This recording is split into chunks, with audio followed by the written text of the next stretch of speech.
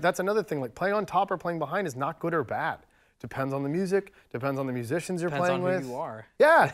like, sometimes you'll be playing like you'll be playing and you're playing on top, and then like I've had people, you know, students tell me about this. Like they'll they'll be playing and then the bass players, maybe the drummer's on top, and then the bass player's behind, and then they're like, oh, I'm gonna like lay back to really get settle in with the bass player, and then the bass player's like, no, no, no, don't do that because now we're all gonna drag.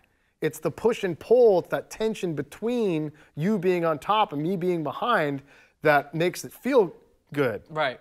right? So like it doesn't always have to lock in and like that situation is a specific situation. There's been other situations where like you lay back and the whole track goes like and just really gels together and like, "Oh, that's nice."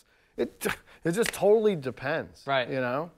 But knowing if you play on top of the beat or behind the beat is is huge. I think it's it's more important to be aware of what your habits Yeah. are than necessarily that you need to change them. Yeah. Because you might not need to. Yeah.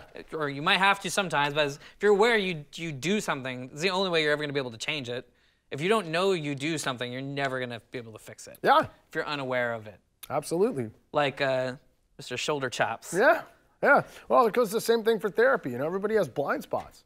You Right. can't fix something you don't know is there. So you have someone go, "Hey, you notice when this happens, you tend to do this," and you're like, "Oh my God, I do do that." That's when you go down to Santa Monica to Dave's studio and you take some private lessons. Bing, bang, boom. Yeah, I know, right? so yeah, that was smooth.